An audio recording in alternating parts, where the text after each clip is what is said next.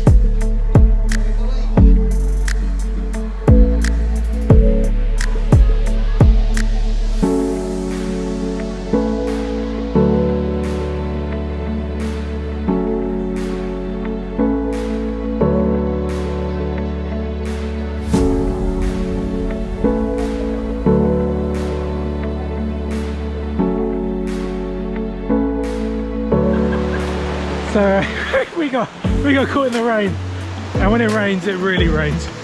So we've had to go and move the cars, and now here we are.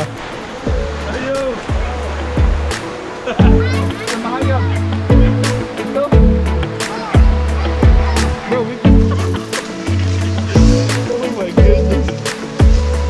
This is what it takes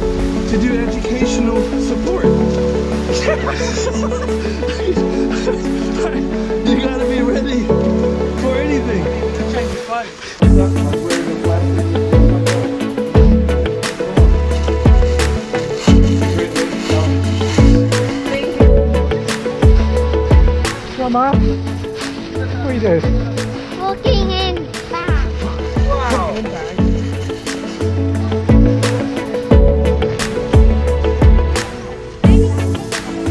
Yeah, right. Uh, bags, baby ropes. That's what happens when you're not prepared for the jungle.